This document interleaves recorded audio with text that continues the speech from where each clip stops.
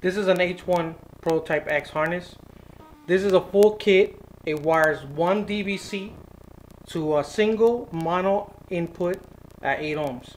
It comes with accessories, but this subwoofer does not need the bullet ends for the, either the torque or Allen key accessories. So we'll be taking this out and we're going to wire this harness to a single DVC.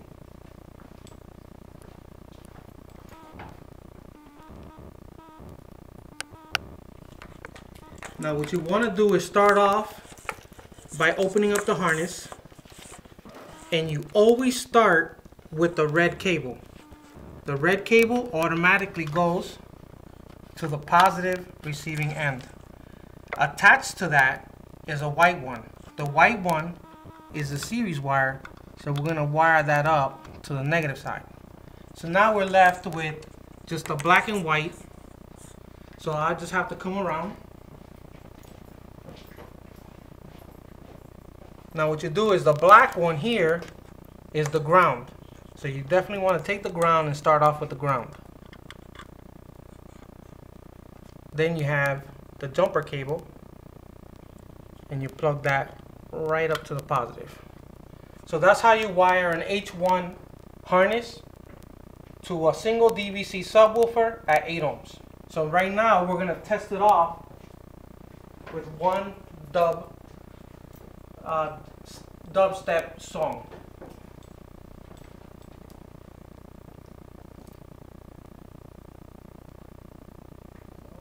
Today's tutorial on dubstep production. Typically a tempo of 140 beats per minute is selected. First, we begin with a simple kick and snare pattern, like so. Next, it's time to add some hi-hats and cymbals to fill those spaces. Add some modulated bass lines, and be sure to make them heavy. Why not try adding a synth lead in a higher register? Perhaps some sound effects or pads.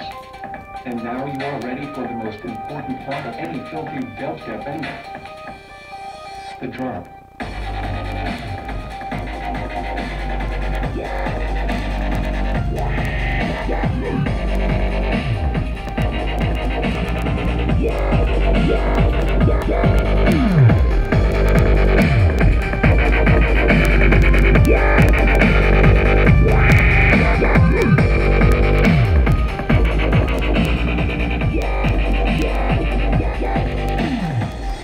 Extra brutality, try adding a beatdown section.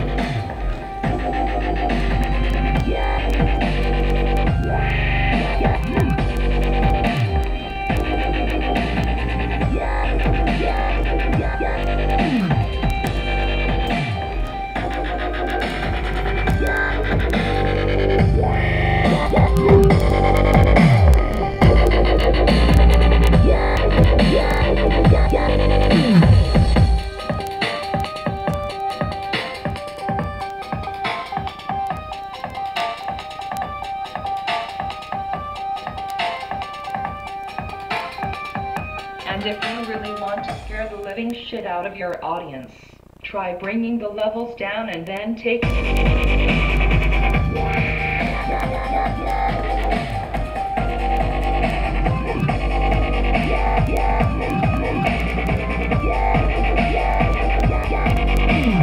And taking them by surprise.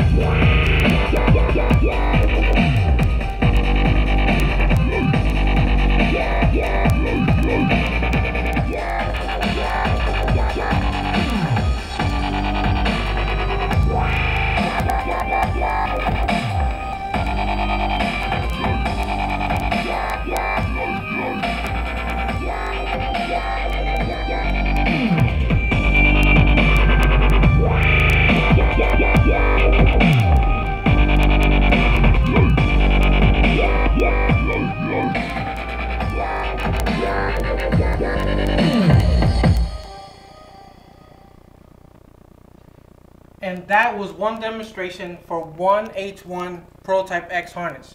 You can find this on eBay. The seller is Revolution X Import Club. There will be underscores in between the letters and the names. Thank you for your time.